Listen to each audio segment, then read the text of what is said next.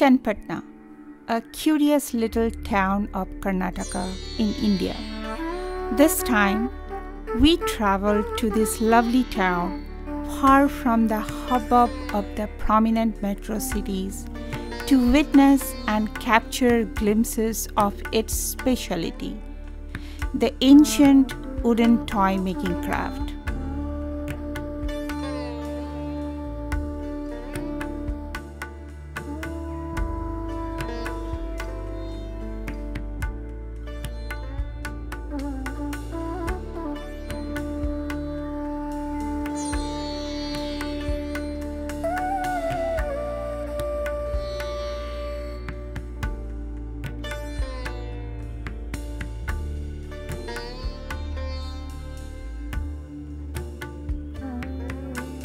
People of this town have been practicing this craft for more than 200 years through generations. Believed to have originated from the time of reign of Tipu Sultan, this lacquered wooden toy making business have been the principal livelihood for many artisans in Channapatna. This is the reason that this place has gotten an interesting nickname that is Gombaeya Ooru or Land of Toys.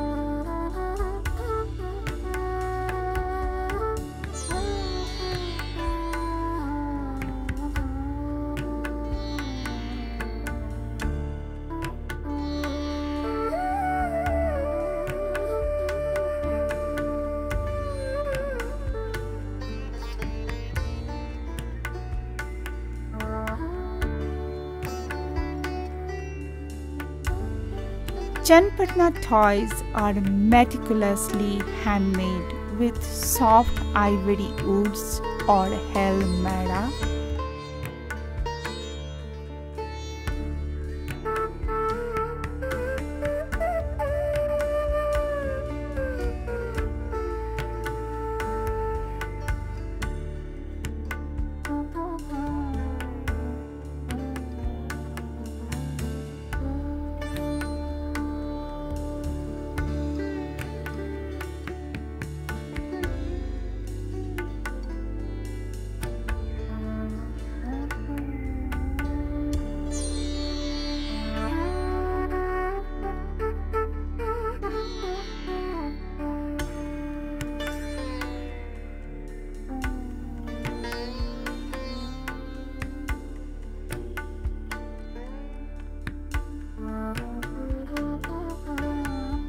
And then coat it with lacquer derived from vegetable dye.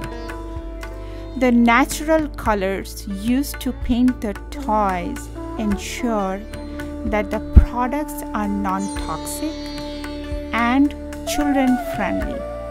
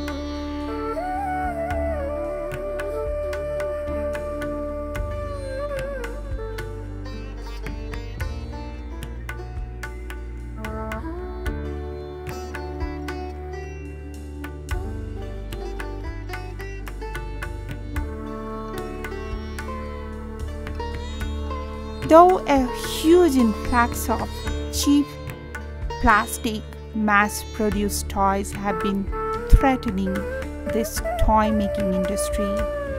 The government of India and the hardworking craftsmen are still going extra lengths to keep their age old precious tradition alive.